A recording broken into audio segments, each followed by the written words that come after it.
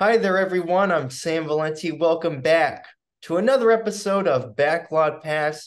You might remember today's guest from 1987's Tough Guys Don't Dance, and she also had a very, very mem- memorable role on the legendary sitcom Full House, and she's done so, so, so much more.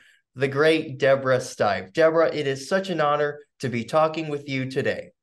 Thank you so much, Sam. I'm delighted to be here. I'm excited to have this conversation with you. Well, hey, well, hey, I am super excited as well. So, so kind of first off, uh, I, I kind of want to get into your background and stuff, how you got into acting. Uh, I saw that you grew up in Chicago, which is awesome because I love Chicago, such a beautiful city. So, what was life like, kind of growing up around there and stuff? I love Chicago, and it was really a great place to grow up. I grew up in a suburb of Chicago. I had four sisters, still do, four sisters and two brothers. And um, honestly, I think that one of the um, blessings I had was one, I had super supportive parents that were very musically inclined, uh, particularly my dad.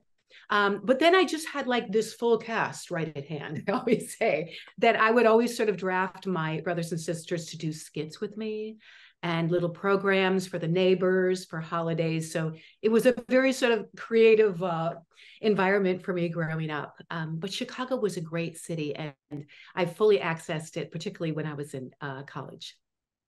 Yeah, yeah, absolutely. Did you did you did you ever like like go to go to any any of like the sports events like Cubs games and whatnot? Oh yes, oh yeah. My dad was a huge Cubs fan, uh, and so he would drag me and my sister uh, to games, and we just loved the whole environment. We weren't like super into the game per se, but uh, he was, and it was just such a, a, great, you know, great atmosphere. Chicago is has so much spirit to it, um, so much, you know, it's a walking city. There's so much I love about it. Yeah, absolutely. It's a wonderful, wonderful city indeed. Uh, and then, then how did you just kind of you know get interested in going into acting? You, you know, when did when did the acting bug uh, hit you? well, like I said, I really loved uh, just making up stories and creating these little shows with my sisters and my and my brothers. Um, and so it was just like kind of who I was in the context of my family. And um, even with a couple neighbor girls, we would put on little shows. Uh, so when I was in middle school, uh, I was in a speech class, and the gal that that taught the teacher that taught our speech class, she was also directing the plays. So my first play was Midsummer Night's Dream in middle school. I was uh, Mustard Seed the Fairy, um, but that was like really my first play.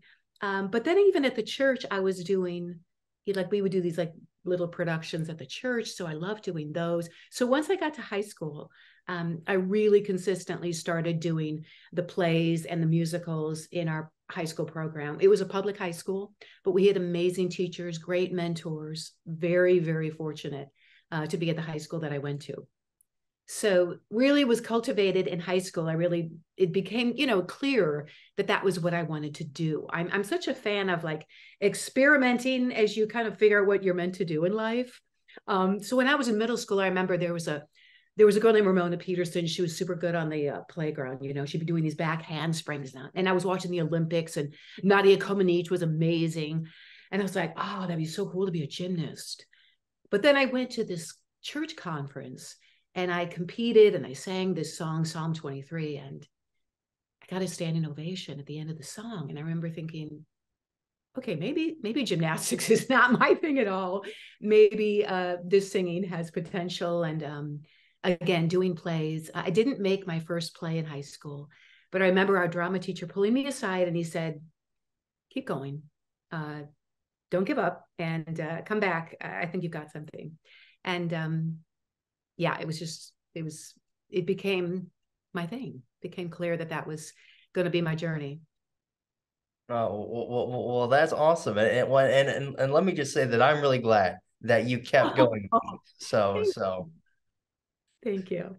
And then so so from there, you, you know, you're in high school and stuff. How did you decide on going to a Northwestern? How did you make that decision to go there for college? Well, you know, like I said, in high school, I'm doing musicals and I'm doing plays, and I really loved both. And I didn't want to sacrifice one for the other. And I knew that at the college level, um, that a music major is going to study opera. But I wasn't 100% convinced that like opera was my lane. Um, and I remember like when I first started taking voice lessons, I told my high school choir teacher, um, I will take voice lessons, but I don't want to be an opera singer. I don't want to sound like an opera singer. And then sure enough, you know, just, you know, you know, it happened. It happened, Sam. Um, that the opera thing just sort of uh, became part of my wheelhouse. Um, I'm sorry if I scared you with that high C. Uh, but so I chose Northwestern because it offered me both right? So i had um i had auditioned for indiana university which had an amazing opera department and then the eastman school of music in buffalo new york and that was going to be like a conservatory. So that would be no academics which i kind of liked uh, but only opera only classical music whereas northwestern afforded me both they had an amazing music program but i also knew they had a great uh, drama program um, and two of my sisters had gone there and I knew Chicago was close by. So I thought, that's the one. And I'm so glad, I'm so glad that that's where I landed. Yeah, yeah, absolutely. Northwestern is a great, great school. Uh, uh I I've been th- there to to Evanston once, and I saw a basketball game there for the Did Wildcats, you? and it's uh, yeah, it's it's beautiful there. It is such a beautiful campus. It is. Now, were you there? Uh, what time of year were you there? uh, let's see. This is, so this was yeah. This was over like uh like what? I guess my winter break a couple years back. So yeah, it was it's pretty cold. It was chilly. Yes, when there by the lake, it's just freezing, but we put up with it. Yeah, absolutely. What so what were like some of your you know fondest memories you know that you had at northwestern? You know what was your overall experience like being at the university and in in the program that uh, you were in?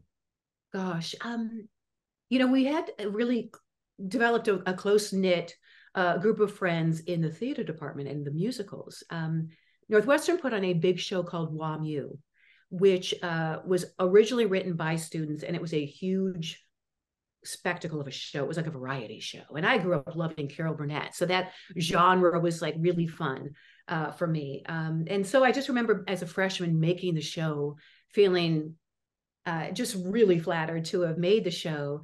And the people that I got to work with were so extraordinary. So now, you know, we're talking people like Craig Bierko and uh, Steve Stark, who has gone on to be an amazing producer, and Michelle Nicastro, who was on Broadway in Les Mis, who is sadly no longer with us, but um, just some really extraordinary classmates, actor George Newbern. So Eric Gilliland, writer for uh, Roseanne. I mean, just like really extraordinary classmates, Dermot Mulroney. Um, so it was like in this incubator of like really uh, gifted uh, peers.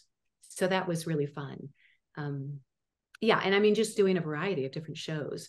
Uh, Northwestern did a really fun summer stock so we would do, uh, gosh, it felt like maybe a show a week or something. Um, but we did The Importance of Being Earnest, which was a favorite play. Um, golly, um, musicals. I did a lot of Gilbert and Sullivan um, at Northwestern, which is a genre I had not heard of before. And I kind of love Gilbert and Sullivan because it's it's not quite, you know, Puccini, uh, but it's not, you know, cabaret either. It kind of it's operetta. So I, I loved that. Yeah, absolutely. So have you been to the have you ever ever like gone back to, to Northwestern in like recent years and stuff? Have you kind of seen how it's like changed?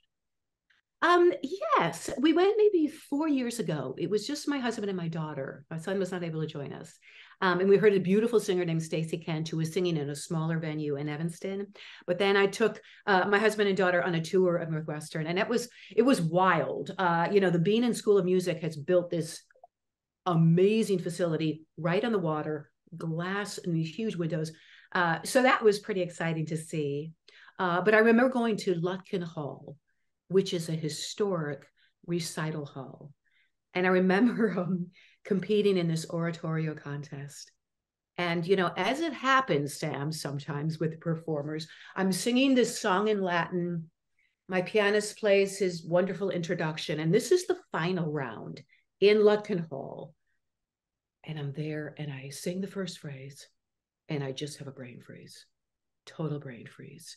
But as poised as I could possibly be, I about walked back to the piano and I said, let's start again.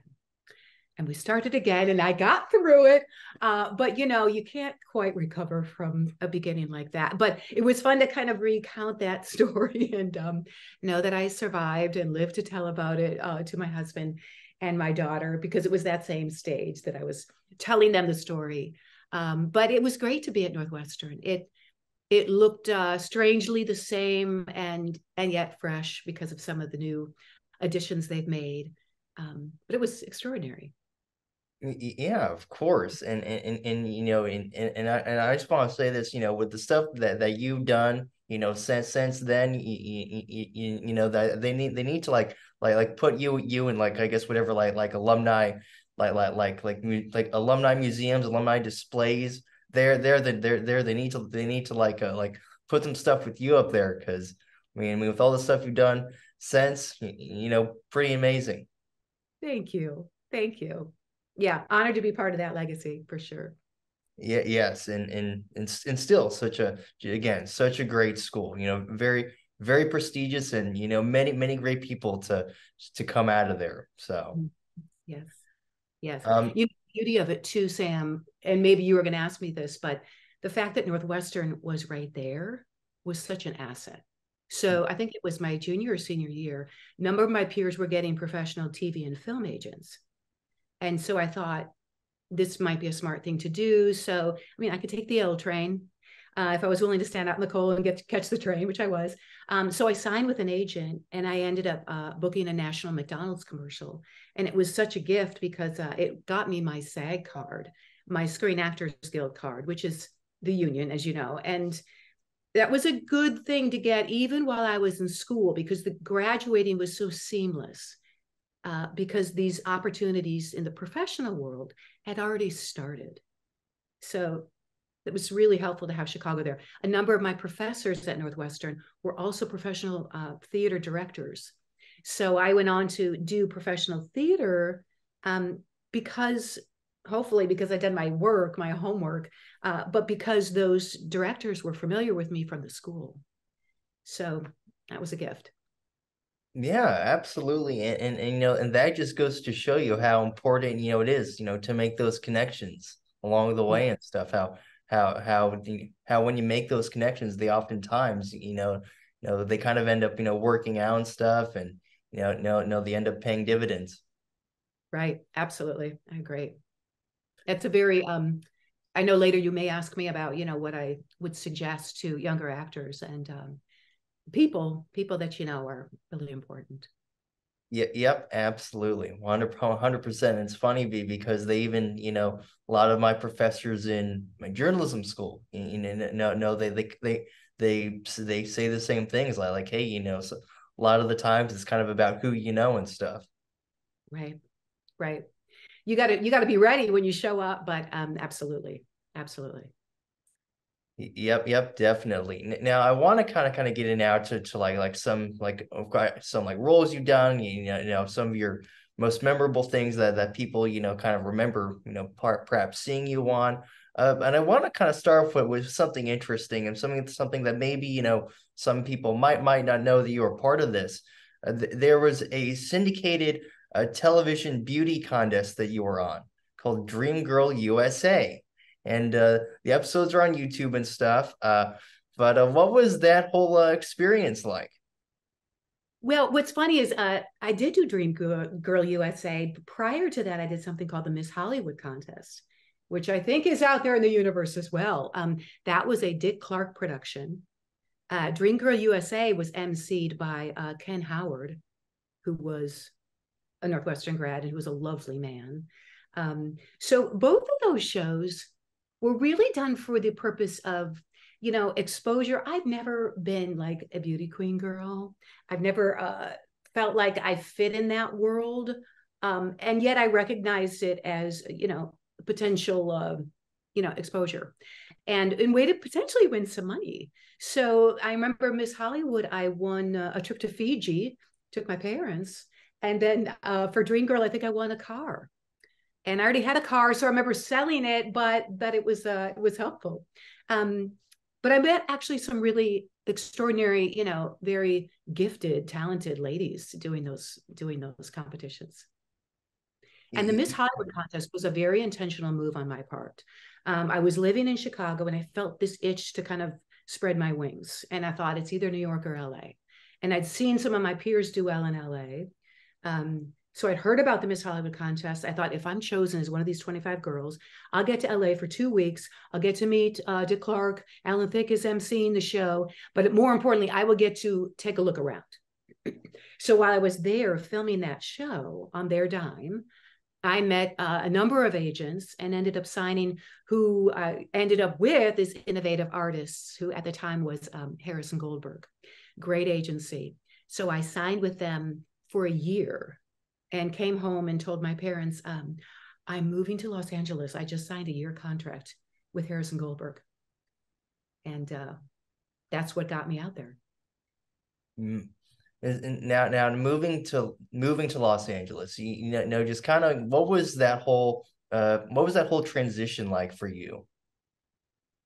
Well, you know, Chicago had been really good for me. Like I said, I was doing like professional theater and musicals in Chicago, but I also felt like you know a lot of these houses had their kind of regulars that they would use. So I felt like I'm limited to how much I can grow here. So that's again was part of the reason of why I wanted to spread my wings.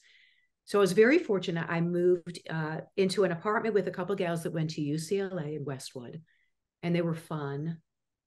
Um, but I, I mean, I, I was familiar with the sort of audition journey. So my first audition was for the A Team, and uh, I booked it. And I remember arriving on set.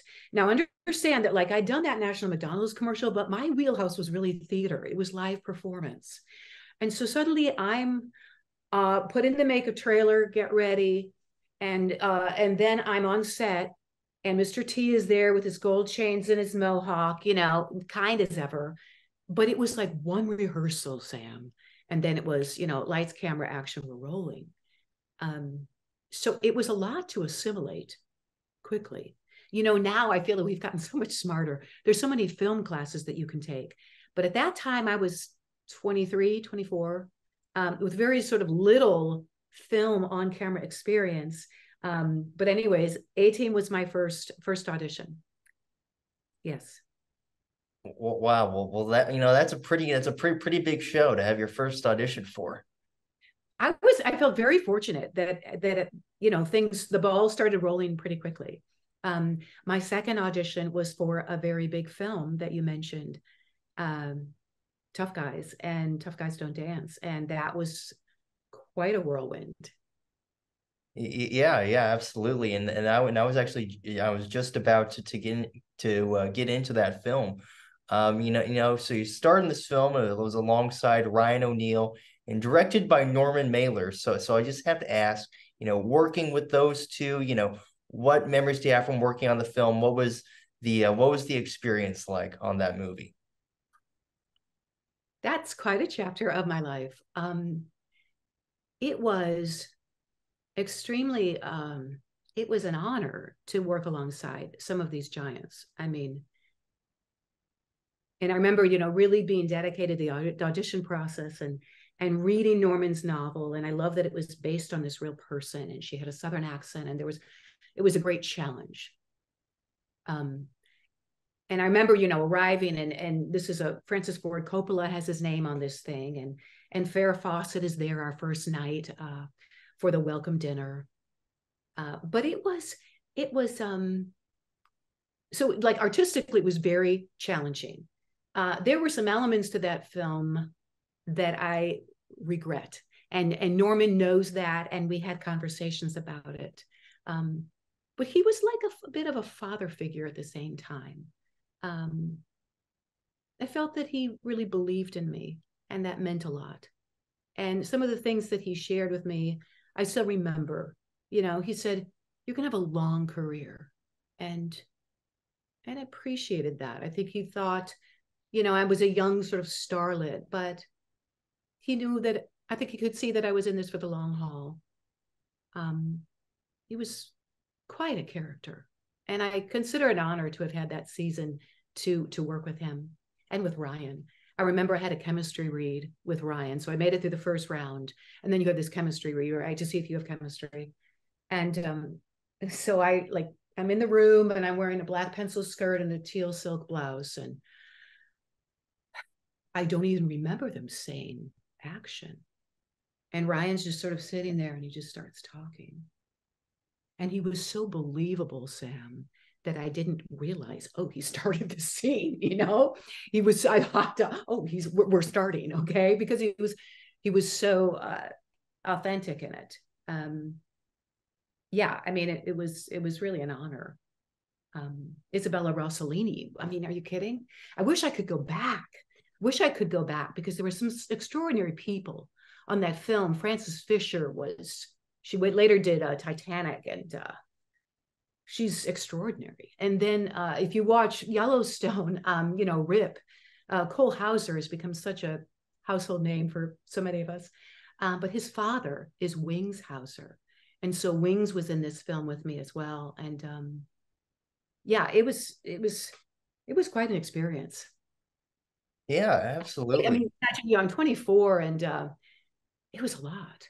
Uh, this business is so funny because one day you'll wake up and you're working with these sort of giants and you're you know you've got the limousine and you've got this extraordinary uh you know condo that they're putting you up in right there on the ocean and then another day you're you're in your basement cranking out another audition um that's the reality of this industry truly Yeah, absolutely. You know, you're you know you're going through the through the kind of people that you were able to work with, and and and and it's it's interesting. This is something I, I honestly did not even realize in, in, until recently, um, but I, I I realized that a Penn from Penn and Teller is also in the movie, which is yeah. something I thought was so cool. Right, right. Yes, they were they were great and you know quite the characters. Very talented guys. Yeah yeah yeah yeah just just many many great talents you know on that movie. Um and, and i just have to say you know anytime i watch it you you just steal every single scene you're in. And you know i love the, the whole southern accent you got going on. It's just it, it's an amazing performance. And um, in my opinion like like like you are the absolute standout in, in the movie anytime oh. i watch it you. Thank you sam. That means a lot. Thank you. Yeah, yeah, of course, and and, and you know it's uh, it's it's always it's always a fun watch, and then uh you know it's uh you know no the the movie you know it's kind of gotten this internet fame uh, on the internet be, because of the uh the oh oh god oh man scene, so it's kind of you know it, it, it it's kind of internet famous, which is kind of cool too, and I think more people of this generation might be able to kind of been able to watch the movie just by seeing that one scene. That's so funny. I remember it it kind of jumps out at you, doesn't it? That line. Because you're not quite sure what to make of it. I'll never forget, you know, I don't want to give too much away, but I get decapitated in that film. Yeah. Yes, unfortunate. Um, but I remember they had to do like a cast of my head. And that's a whole experience. You can't be claustrophobic because they literally cover your entire head with just like two holes so you can breathe. Uh, my daughter recently had to do it and i was so proud of her because truly it's if you have any claustrophobic issues it's very scary. Yeah yeah yeah yeah I, I bet. Yeah it's funny you bring that up because that's my that's my least favorite part. You know because i remember getting towards the end i was i was i was, I was like come on they're they're you, you know you know they're gonna kill off the best character oh thank you so, so, so yeah yeah so so so from now on, I just kind of pause it, you know, right before that. Thank you, Sam. Keep me, keep her alive. Keep Patty going. Yes, yes, exactly. I agree. Um, now, now I, I got to bring up this this other um, great role you had. You you were on a a little TV show called Moonlighting with uh, Bruce Willis. Yes. Able to, able to work with him, which is so awesome. Um, and you know, what was it like working on on that show? And I mean, you wore the most amazing fur coat, you know, on the show, which is, you know, no, I'm, I'm not sure whatever happened to that fur coat, but it it's amazing. So, you know, I regret that I could not convince my agents to write that into my contract because that fur coat was stunning. I think it was Fox. It was kind of a creamy white, gorgeous. The dress I had was beautiful too. Um, Bruce was as charismatic And as charming as you would suspect, he was engaged to Demi at the time. Um, but he just made it so fun. Uh, I mean, he just kind of played himself, but he played it so well. That was such a really great show. The chemistry between he and Cybill was just the best. Yeah, but that was a fun, kind of a fun character, kind of coming incognito to uh, get some information, using her feminine wiles to uh, get what she wanted. Yeah, that was fun. Yeah, absolutely. You, know, and, and and I and I think think that, that you guys worked really well together. And and and I remember remember watching, you know, know you know, know, you guys' scenes and stuff, and I was just I was just like, you know, no, how did you guys like like like not do a movie together? Because I I think that would have been great. You and Bruce in a movie. Oh my gosh, that would have been awesome. You know, you remember little things that people tell you, and I remember Bruce saying, um, "You should do films." He said, I remember him saying, you know, hold out, do films. You have a future. And so, I mean, that was that was nice coming from a guy like him. Yeah. So I'm sorry, you know, is there is there still time, Sam, for us to do a little film together? Yeah, yeah, yeah, yeah, absolutely. Um, that would have been fun. Yes, for sure. Little Die Hard stuff, kind of maybe. I don't know. yeah, exactly. Yep, exactly. Do you, do you think Die Hard is a Christmas movie? Is do I think Die Hard is a Christmas movie? Yeah, yeah. um, maybe I don't know. We make it a Christmas movie. Maybe. Yep, yep, exactly. Um, let's see. So, so now let's get into to uh, your. You know, I think a role that that a lot of people uh, remember you from. You know, your role on Full House and stuff as a Cindy. Uh, how did so? Just first off, how did that role kind of come about? I mean, because Full House was such a massive show in the '80s. So how did that role uh, come about for you? Well, you know, if you have a good agent, they're getting you good auditions, right? So they tell me that um, I've got this audition for Full House. Um, and she's got to be a mom. She's divorced, newly divorced, and she has a son. And uh, so I prepared my sides, my script, right? And um, in real life, I'm actually engaged to my now husband. Uh, but, anyways, I go to the audition, and there's this young boy there in the audition room, and they're pairing uh, us moms up with various sons uh, to go in and audition because they want us to audition together. So I meet this kid, and I'm thinking, uh, I don't have a kid, but if I had a kid, he'd look like this. I hmm. remember thinking, oh, we're, we're good together. Uh, and he was fun.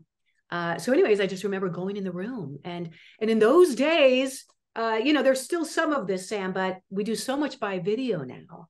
Um, but I love the fact that we were in the room with, you know, Jeff Franklin, as I recall, you know, with the team, with the casting director, um, and I just remember feeling it was fun.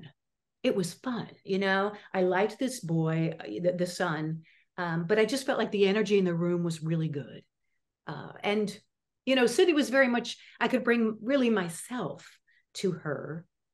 Um, and I just remember walking out thinking, golly, that was really fun. You know, sometimes you walk out of, of an audition and you think, oh, crushed it, crushed it.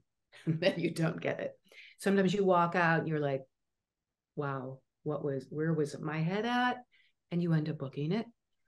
Um, so your, your radar is not always right. But in that case, I think it was because I walked out and I was just, when it's fun and when you're relaxed enough to have so much fun with the people in the room and you're taking direction and it feels just like good, you know, play, uh, then you know something's something's there. And I don't even think there was a callback for it. So anyhow, um, loved booking that show, loved working with that team. Uh, I mean, Bob and Dave Coulier, it was like constant comedy with those two. They were lifelong friends. And so they would be constantly cracking each other up uh, along with the rest of us. Uh, but I love the schedule of a sitcom. You know, you have that table read on Monday, you're tweaking jokes Tuesday. Uh, and then it's like theater for me because you're blocking it on a real set that you're rehearsing. And then Friday, you've got a semblance of a live audience. And the little twins were darling. Uh, Mary Kate and Ashley were darling. They were probably, I'm going to say, probably four when I did the show. They had their little tutor. And I remember how we, how we would roll. This I, I think this is a little bit interesting. Is they were so young, so the rest of us would be performing the show in front of this live audience, you know, pretty much nonstop. But then we would stop the show uh, to get their lines, and they would do maybe nine, ten takes right in a row. The, and the directors would make sure that they got it, and then we would move on. So it was it was a really a kind of a fun way to work and then friday night you're you're done and you're going home. So it was it was really a great uh, schedule. Everybody was great. I mean john stamos i remember meeting him and charming as ever. I remember him telling me that he felt like he was a nerd in high school and i was like don't buy that. But he told me that he was. He was a theater nerd. Um, but he was fun uh, for some reason i feel like maybe he was dating paula abdul at the time. I don't know. But um, everybody was great. Candace Cameron was fantastic. It, what's fun is that um, I got to do an event at my sister's church with Candace uh, a number of years ago. And that was so fun because after so many years have had that opportunity to kind of reconnect with her. And she was more of an adult and she's really become really a powerhouse and just a, a beautiful, well-rounded human being. Um, so, anyways, I love doing that show. Bob, I mean, Bob was like everybody, America's dad. He was an absolute gentleman, um, but just so much fun. I felt like we had a genuine, fun chemistry for the role. So here's my we have things we have in life, Sam, that we are glad we said yes to, and things we wish we'd said no to. Um, to be honest, like Tough Guys was a great journey. I regret uh, that it got a little bit more uh, exposing, so to speak, than I really wanted to. I didn't know about the nudity piece uh, before I took that role on. But in today's day, I think that we would be smarter, negotiate, you know, contracts would have been set up a little bit differently. Uh, but that's maybe a little bit of a regret. But another regret where I wish I had said yes is that on on Full House, they asked me to marry Bob Saget. They wanted me to be a series regular. I had done three episodes by now, and they really liked Cindy and they really liked us together. So they were going to have the whole wedding on the show. And I thought, this would be so fun. This is the perfect schedule. I love this cast, I love this character. And my agents talked me out of it. My agents thought I would get lost in the shuffle. They had bigger plans for me and uh, you know I, they didn't know about fuller house at that time right um, so unfortunately i let them convince me to say no and i do kind of regret that. You know i believe god is sovereign and so it wasn't in the cards but that really actually would have been a good time. So do i regret not marrying bob saget? Yes i do. I do. Yeah, yeah, yeah. I, gosh, I think I, you know, I think it would have been really, really amazing if Cindy and Danny had stayed, uh, had, had stayed together, and you could have, and you would have been like, like a permanent part of the cast. You know, I think that would have been amazing. I do too. I do too. but it's all, it's all good. It's all good. But yeah, what would it have been like? What would our wedding have been like? Would we have kids? I don't know yeah yeah you know uh, uh, you know honestly when you think about that that's kind of one of you, you know that that might be one of the great i guess sitcom uh, what ifs. Yeah right right right. I really i loved doing that show because it was so much a part of so many young kids lives. And so it's it's fun for me to be able to be out in the world and have people tell me about how much that show meant to them and the little moral lessons and you know even now that it's so easy to to have on and it's heartwarming and it's represents family and relationship and people doing life together yeah absolutely you know it's you know uh you know it, it's just it, it's a very very great just a wholesome show and stuff and you know it's it's the kind of show the show that you can you know watch anytime and really just watch with anyone and get yep. enjoyment out of. Yep, I agree. I agree. Yep, yeah. I love the secret admirer episode where the love note is getting passed around, and you know, Kimmy thinks that Jesse has the hots for her. It's so funny. It's so funny.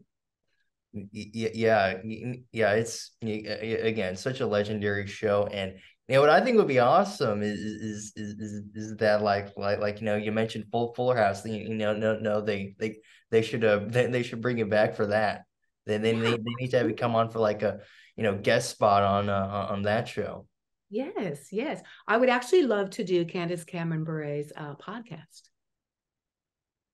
yeah, that that, that would be awesome. Sam? Let's manifest that. Yeah, absolutely. That that would I would I would love that. That would be. I would, a, too. I would too. Yeah. Yeah, yeah. That that that would be a that would be an instant listen.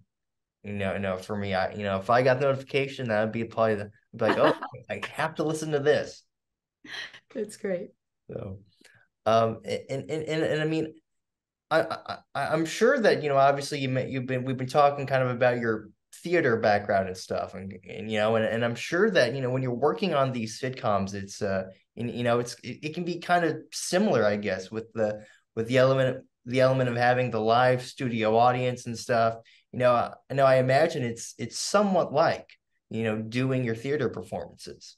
Absolutely. Absolutely. And i truly kind of loved it for that um and also there's a sense of um you know, if you work in a film, you're working at potentially three in the morning and you're working till you get it. And that's okay. You know, there's a beauty in as many takes as you need sometimes, right? Um, but there's also something really wonderful about being prepared, coming to set, performing it, getting that instant feedback from the audience. There's a chemistry. There's, you know, there's a magic that happens on stage that that you as a performer, you tangibly feel it.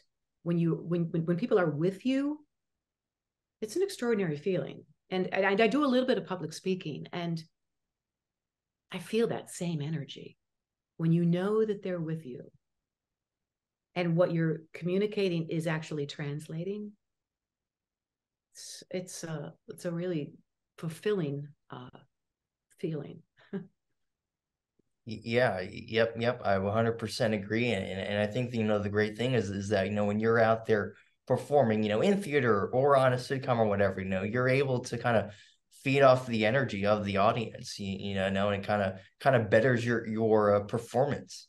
Yes, absolutely, absolutely. You know, you nailed it. Yes. Yeah, and, and, you know, and kind of from there, I want to bring up this uh, this other sitcom role you had a uh, you had a guest spot on a on a little known Fox sitcom called Open House and I think it's really cool that you got to work with a young Ellen DeGeneres. Like, like, like who, who, who, would have thought you, you know know what she would do? Sam, I mean, again, another opportunity where I should have been a little more alert to say, I get to know this person. Um, but I have a very clear remembrance um, of yes, our time on the show, but actually walking to the cafeteria together to have lunch. Uh, because you know you rehearse on set and then you're in the studio lot. So you're walking to this other area to have lunch. And um, i remember walking with her. And i remember just genuinely you know sometimes in the world of film people can feel like they have sort of errors or something uh, she was so stinking like genuine and fun and authentic even then which is not a surprise um, and witty, you know, no surprise there. Uh, so I just remember getting to know her a little bit on our walk to lunch, thinking, she's so cool. I like her. Yeah. Amazing to see, you know, where she's come. It's awesome. Yeah, yeah, absolutely. And and uh, you know, that's you know, no, that no, it's funny because this this guest spot, you know, it's a, it's just it's a, it's a role that you absolutely nail and, and it's just it, it, it's a lot of fun you know I, I love your whole your whole uh, character in this you're you know you're you're you're kind of you're really good good in this role I, kind of playing the the the bad girl who's who's tr- trying to get with the try, trying to get with the with the uh the rich boss on the show and it's uh it's it, it's a lot of fun I, I can tell you're having a blast on it oh good a little bit of a gold digger issue yeah yep I need to I need to pull that back up.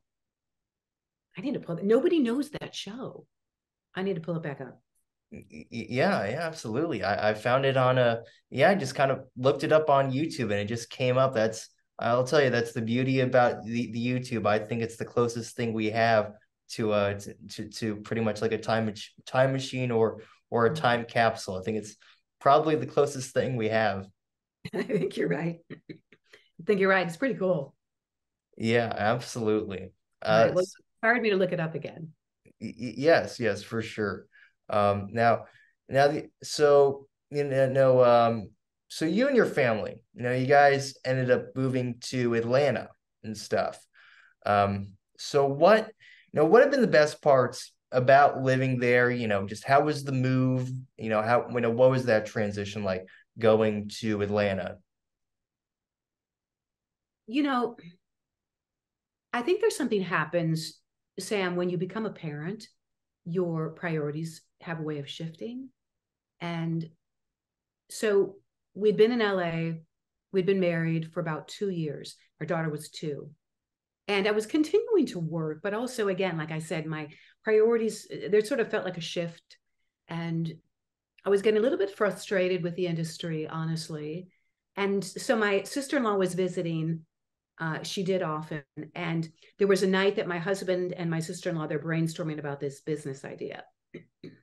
Greg goes to bed, and I look at her and I say, You guys are going to do this, aren't you? She said, I think so. so, anyways, long story short, uh, his whole family had migrated to Atlanta. And then he wanted to start this business with his sister. Um, and again, I think because Sarah was such a a force in our life, our daughter, and we didn't know that we wanted to send her to public school, and we just, I think, wanted to be around family, uh, and so we decided to move to Atlanta. And I remember at the time, not really being sure. I did sort of feel like I was sort of giving up on my dream a little bit, to be honest. Uh, but there was a little bit of a nudge I received, I think, from my creator. It was the night before I was to get on the plane, and literally there was an earthquake. There was an earthquake that shook our little house like nobody's business. And I was like, okay, I'm ready. I mean, it was terrifying. So we arrive in Atlanta, and um, it, it, it was not a quick adjustment, to be honest, um, because the, the work here was so different. So I was happy to like get invested in what my daughter was doing, and I did. You know, I got involved in her school, and I helped with the arts festivals, and wrote some sketches for you know the school. We we formed a little drama troupe with her and her friends, and my son was in it as well. Um, but the kind of jobs that were here for actors were really like industrial films. So I got an agent when we moved here, but I was doing like, you know, the Carol Merrill, uh, you know, that that's all that was here, and I wanted to work. Uh, so I would do industrial films, um, and so that was, you know, it paid and it kept my foot in the door, but it wasn't like it is today that the the entertainment industry is so alive and well in Atlanta now, and I literally feel like God brought the industry here for me because there's so much going on. But at the same time, and I will, I think this is one of your questions, the quality of life that you can have in Atlanta is is pretty sweet. Is pretty sweet. Uh, it's not about stuff, but I, I have to admit that when we moved here, suddenly we had twice the amount of square footage that we did in Los Angeles. Um, and traffic was not near as bad. And there were trees and there were seasons and there was family. So a lot of that was good. It's been really good. Uh, you know, Tyler Perry has a 330 acre studio here that is absolutely epic. Um, I have booked really big films from Atlanta. Uh, you know, I feel like I was here as the things started to grow. So, like I said, my first jobs here in the industry were more like industrial films or live industrial shows. Uh, but then eventually, uh, I booked an episode of Army Wives and then something called Cape Fear down in Florida. And things just sort of began to change. And now here we are. Atlanta is cooking with gas. Yeah, absolutely. Um, you, you, know, I can't tell you how many times I, I watch a movie today, and then at the end of the movie, you know, there's like the Georgia logo. Wow. Yes. Yes. I love that. I love seeing that. Yeah, yeah, yeah. So, so, so, so, I mean, I'm, I'm, I'm pretty sure I, I know the answer, but, but, but, uh, but would you, would you say that the, you know, kind of looking back that the move was uh, was a good one? I would, I would. Um, it was a hard one. It was a hard one because I really wasn't sure the industry would ever be in my life again. And so it was a lot to sort of give up. Um, but I also am really thankful because I felt like I had a really rich season raising my kids. I kept my foot in it, but I was also really being able to be a present mother. And that has been my favorite role of my life. Hey, hey, hey, that that's awesome. You know, no, that, that no, that is that's awesome, and you know, and you know, in a little bit, you know, no, we'll get to this, you know, to to to the great stuff that you're doing, you know, with your daughter, you know, and stuff, and, and I think it's amazing that you've been able to work with her on this stuff. So, so let's just kind of get into, you know, that. How did uh, uh, now, how did Stipe Studio come to be? Where, where, where did the idea come come from? You know, when did it all start for that? Well, you know, I think I hope in some ways that my kids kind of grew up a little bit like I did. Uh, that playing make believe was a really good time. And it wasn't anything that I forced on them. I just, you know, we loved reading books out loud and crafting stories. And like my daughter was really into American Girl dolls. And so we like made up an American Girl doll play and we had her friends over and like put on the show. Um, so they had a very, I think, creative childhood, but it wasn't anything I forced on them. Uh, and again, our son is a really wonderful actor. He's not working in that, that, field right now, but he's a very fine actor. But so when Sarah was 10 and Walker's, sorry, when Walker's 10, our son, and Sarah's 12, uh, Sarah wants to put on a show with the neighbor kids. And uh, she says, Mom, let's uh, let's do this, uh, The Wizard of Oz and let's uh, make up flyers. We'll put them in our mailbox, the mailboxes of our neighbors, and uh, we'll cast the show and we'll do it at our house. And I'm going to direct it. So, so my daughter didn't even want to be in it; she wanted to direct it. So I said, "Great, I will be your assistant director." And so we made up the flyers, we put them out, and we got like I don't know, I think maybe 20 kids from the neighborhood to do the Wizard of Oz. And so right there, it's in the living room or is the audience. And then we had kind of a, a big sort of lobby in our house, like a foyer, I guess they call it, with the staircase and then above balcony. It was perfect. So we did the show here, but then like the flying monkeys came down the stairs from the, you know, uh, from the balcony, so to speak. And um, anyways, we put on what was the beginning of, at that time, we called it the Seven Dwarf Playhouse, where little people learn and laugh a lot the Seven Dwarf Playhouse. She named it. Um, so she had this little entrepreneurial spirit, Sarah did, uh, to direct and also to start this little business. So the next summer, we did another show and we charged the students to be in it um, because we would do it together and we would, you know, audition the kids. And the beauty of it, too, Sam, is that we would do a show in a week. Now, I know that sounds crazy, but kids have these little brains that can learn quickly. Uh, we would give them the scripts beforehand. So Monday we would start hard, and by Friday those kids would be off book. We would always keep the set very simple, um, and we would costume as best we could. But there was always a Friday performance, so it was a one week uh, run of camp and so this just grew. So every summer we would do these shows, but we would do like multiple weeks. So maybe we would do three weeks of Annie, or we would do three weeks of Little Mermaid.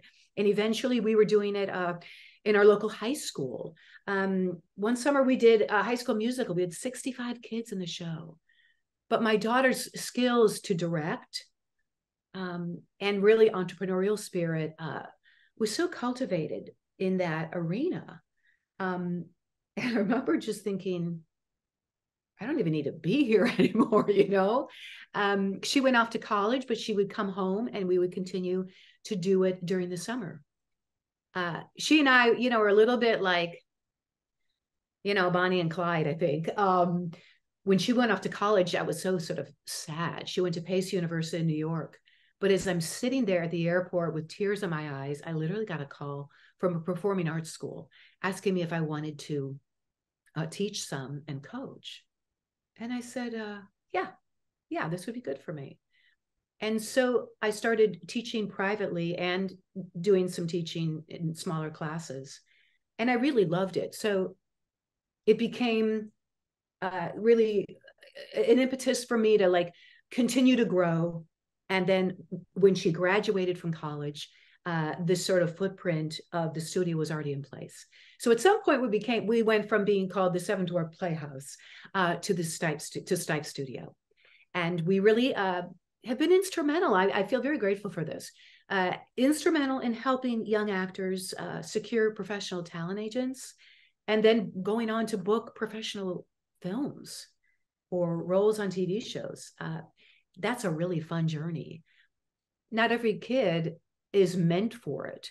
But when they are, are spot it and you can help guide them, that's a that's a journey worth taking. That's been a privilege to do. Yeah, I, I mean, I, I think it's amazing what you're doing, and I think I think it's great that they are able to kind of, kind of to pass on what you've learned throughout your throughout your career, pass on your wisdom, you know, to, to the kind of the next generation and stuff, and and help them out. And I, and I just think that's no, that's really amazing. It's amazing what you're doing. Thank you. You know, one of the things we did at the studio was we crafted our own sitcom. You know, one of the gaps we felt like the kids didn't get is remember when I talked about the A team and suddenly I'm on set? Mm-hmm. And, uh, you know, my background was really theater.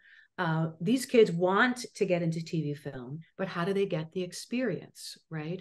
So we crafted a show called Life at Stipe because when the kids came to the studio, they would call it I got Stipe.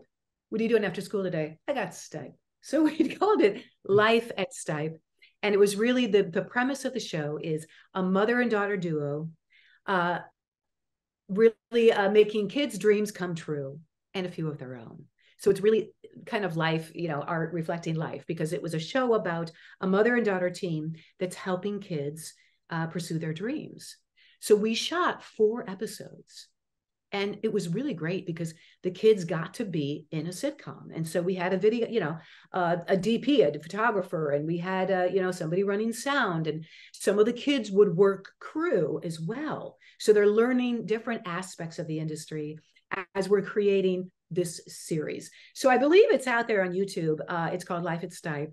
Uh, and so my daughter and i basically play ourselves and all our students um, do a great job in it. It's a it's, it's a fun it's a fun series. Yeah absolutely. It's fun, funny uh because because it's the uh, uh, last night uh, you know I, I I did find it. Uh, as you said on YouTube and I watched it I watched the first episode. It was uh, oh, yeah I did oh it was it, it, it, it's a lot of fun you know I know it, it, it's it, it's real re- really fun just just a really enjoyable watch uh, you know and you know what what I really liked about watching it was was you know I could tell that that that that all all of your students, you know, have you know, know just serious acting chops. And I remember watching it. I, I was I was like, man, these kids are really good. And you know, um, but but then I realized like like oh well well they have a freaking awesome teacher, so it makes sense. You, thank you. Yeah, we had a lot of fun. You know, we had we kind of heightened our personas, um, but yeah, it was a lot of fun. We were very blessed with a lot of talent, and a lot of those students are still working in some capacity in the industry. Yeah, and, and I just think again, again, I think it, it's great, you know, know, know, know that you were able to that you made this great opportunity to to you know, you know, kind of help your students get involved in stuff and and get them more experience. You know, I, I know I think that's really great. You know, you know that you've uh, you know that you've done that and stuff. Thank you. You know, it was also just an opportunity uh, to write something original and to have sort of the um, creative control, shall we say, to write what you want to write tell the story that you want to tell, to do that with my daughter, uh, to know the students. So to know uh, what would work and what would really add. You know, sometimes an actor comes in a room, audition room, and they bring something to a character that you never thought of. But if you know that actor and you know their sweet spot, you can like write to it. Uh, so we did do a little bit of that, and that was fun. That was fun, and it yeah. also, you know, it gave my my daughter an opportunity to write, which is something she's very good at. Um, but it gave her an opportunity to really cultivate that gift of hers. Yeah, absolutely. Um, you, you know, no, no, no. Throughout this whole thing, you know, know that you're doing, you're able to work with your daughter, and and I think that's a really special thing. you know, you know, what does it mean to you, you, you know, as a mother to be able to do that, you know, with your daughter? Where do I start, Sam? I, I so believe in that kid. Um, it's a joy. It's a joy. There's also, if uh, it's a funny thing because like sometimes if she's around and my husband's around, we'll sort of click click into uh, you know, the the biz conversations, you know, because we do, we just genuinely enjoy it and, and like to talk about it. Um, but it can be a little bit ostracizing for those that maybe aren't in the business. Um, so we have to catch ourselves. But we enjoy all sorts of things, not just talking about the business. But it's genuinely a great connect point for she and I. So it's it's a gift and a blessing to be able to share it with her and to see her grow as an artist. Um, she you know i see some of myself in her but i also see so much more sort of leadership in her and courage in ways uh, that i didn't you know taking courageous steps that maybe i didn't take. Um, so it's a it's an awesome thing to behold. I also as a as a mother always want to be also careful of like giving her plenty of space. Um you know as a parent you're always kind of you're you're you have to dance carefully um knowing when your when your help uh, is helpful and when your help is is not and when to step away and when to give somebody room to grow and have their own journey and um, so we still work together some but we pivoted during covid our studio uh, we realized having classes with 35 students online was uh, just not uh, our jam and wasn't best for the students. So we we decided to pivot. She moved to the city, um, and so now we kind of run our studios independently. But there are times that we may uh, create together, and that's just kind of that's kind of the best of all worlds because uh, when something is comes up, then we have opportunity to work together. Yeah, yeah, yeah, yeah, yeah. yeah. I I, I you know I I think that's kind of that's kind of uh, it's kind of, kind of a great way of kind of kind of going going out about things you know working things out and whatnot. Yeah, you know, I, think it's pretty pretty swell. Yeah, we well, funny enough, she and I booked a film separately. All right, she was the uh, the lead's best friend, and I was cast as the fashionista housewife uh, boutique owner Lillian Lee. So they they cast the film, and then they realize oh, these two characters have scenes together. And gosh, they look similar and have similar characteristics. So, long story short, they decided that they would make us mother daughter in the movie, even though it was not written that way. So, how fun was that? That was fun. Oh wow, wow! That, that you know, no, that that's one that's one of those crazy occurrences, right? Right? So crazy, so crazy, so fun yeah yeah you know no it's it's great great it's honestly crazy how so sometimes you know those things happen right right how it just kind of comes out of nowhere and it's it's like oh well like like like like like look at this look what happens it's just right right way things work out i know it's a really darling film it's called divine influencer it's on pureflix so it's a kind of a faith-based film but it's number one on pureflix right now and uh, the lead girl is from the chosen and uh, it's a beautiful, darling, kind of romantic comedy. I'm so proud to see. Uh, I feel like that faith based genre uh, needs some uh, projects that are just really fun and engaging. And I feel like Divine Influencer is that. It's a great team. Uh, yeah, yeah, yeah, absolutely. Um, you, you know, and you know, and I kind of want to, I kind of want to dive into that now because, uh, you know, you've talked about, you know, how important your you know your faith has been you know and, and stuff how important your faith is to you. I you know, i just kind of want to know just how important has your faith been throughout your life and uh, your career? You know where do i start sam? I i grew up in the church and there's no perfect church but it was a pretty great church and when i was 10 the the leader of our little kids club called awana you know, we would play like dodgeball and we do crafts, but then there was always a story time. And she talked about this uh, tender shepherd, Jesus. And and I remember being so taken with the story. And so I became a Christian. I invited Jesus into my heart. That's like how I understood it. But I think as you get through life, you you're challenged with life. Like, is this faith really like mine? Is it my parents or what do I believe? And that's something I would really encourage actors or anybody in life. Um, owning what it is you believe and owning your faith, whatever that is, and let it uh, rule you. And for me, there's an innate sense that uh, that God is real, and so I try to live by that. And I I also believe that I'm the recipient of what He's given me. Like anything that I have, anything I have, whether it's my kids or my house or my voice, He gave it to me. And so I feel to some degree an obligation. Uh, how can I use that for good? Right? Uh, this is my one and only life. And how can I be a blessing to other people and uh, maybe point them to somebody beyond themselves? Because I think it's a tough industry. You can get, you, your identity can get very lost in the pursuit of fame and making it.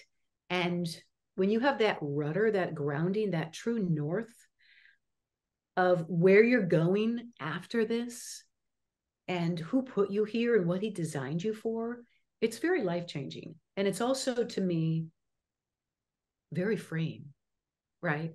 I mean, I am by nature a bit of a people pleaser. But if I can remember at the end of the day, no, I'm really actually only called to be pleasing one. That is uh, very freeing and very stabilizing and um, very uh, grounding. So I hope that's helpful. Yeah, yeah, yeah, yeah. You, you know, that's uh, you know, that's uh, that that that's really you know powerful, uh, really powerful to hear about, you, you know, and stuff. And you know, what's it, you know, what's it like now? Now, you know, and I know you mentioned, you know, your, you know, that movie, a divine influencer. You, you know, know what, you know, are you know, are you looking to maybe go into, you know, pop, you know, pop, you know, possibly, uh, you know, more, you know, faith, faith, faith based films, in the future and stuff and, and, and just kind of you know, know what does it mean to you to kind of to uh to be in those you know in those films you know with that that have that uh you know the faith-based um you know me- messages and stuff. I'm very careful. I really care about the story. I really care about the message. And i really want films or television whatever it is whatever story you're telling you want it to be authentic. Um and so I feel like Christendom, Christian faith based films, I feel like we're getting better. Uh, I want to be obviously part of projects that are done well, but I also really care about the message. And if you can like bring your craft to a good message, that's exciting for me because you you believe in the story you're telling. You know, some are just fun, like some you tell and they're it's just entertaining. You're not necessarily uh, aiming to bring something really lofty, but it's exciting for me to see things like The Chosen, which I think is well done. Um, and I think Divine Influencer is well done. Uh, but I think like there's a film called Surprised by Oxford, which is based on a really wonderful book. And it's well done, but it's not in your face. It's not, um, I don't think, pushy so i'm just a, a, I really want to tell good stories um, i don't want to limit myself. And so there's a part of me that has a little bit of a trepidation of saying i want to do faith-based because i don't want to only do faith-based. Um, because i think there's a lot of amazing stories to be told. Uh, but does it excite me to be part of a project that has a meaningful message? You better believe it. Yeah.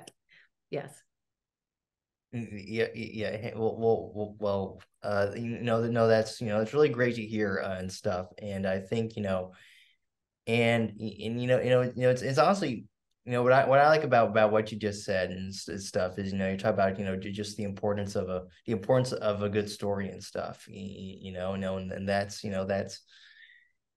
And, and, and it's you know you know I think I think you know at the at the heart of at the heart of any movie or TV show or or any sort of you know project you know that's that's you know, no that should be at the heart of it right you know you know no no no a really good uh, you know meaningful story that can uh you know that can that can really captivate the audience you know and Yes.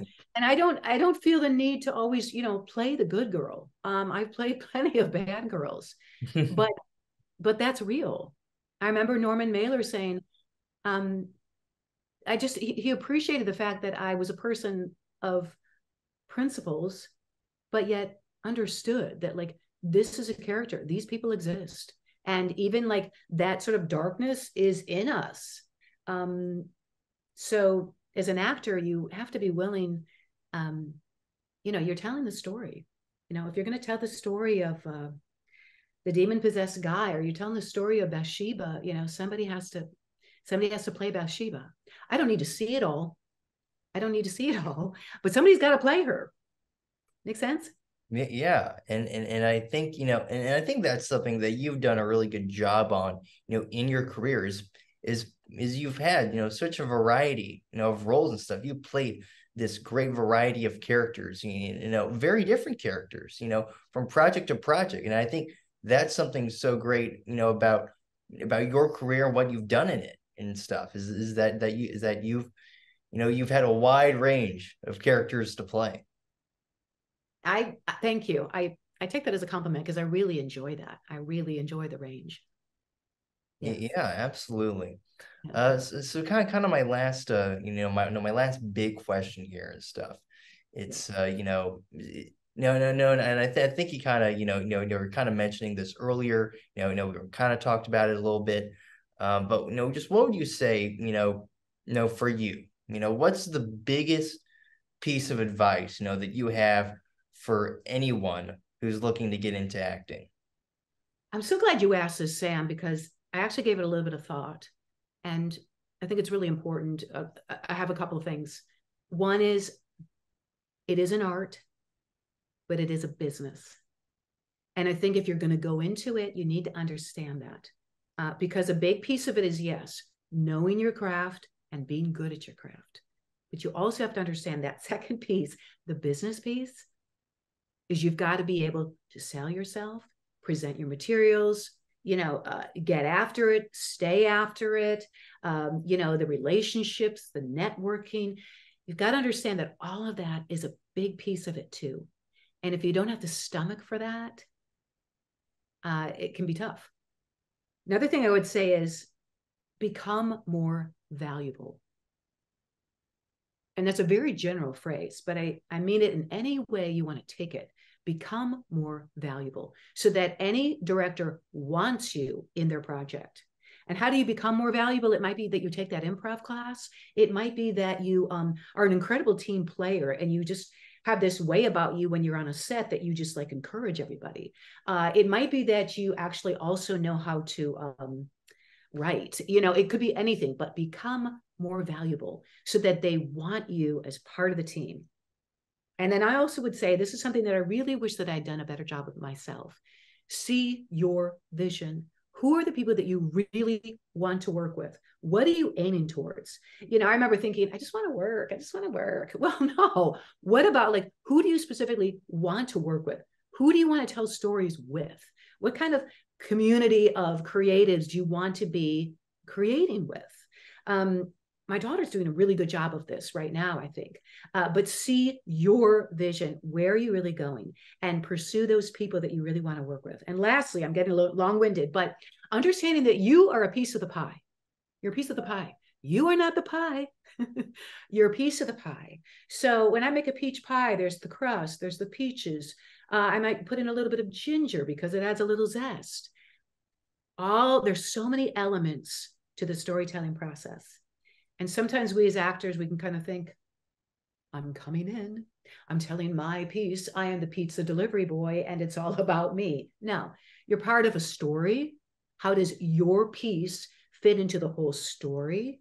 And also understand that you're part of this big wheel. You're a cog in this big wheel.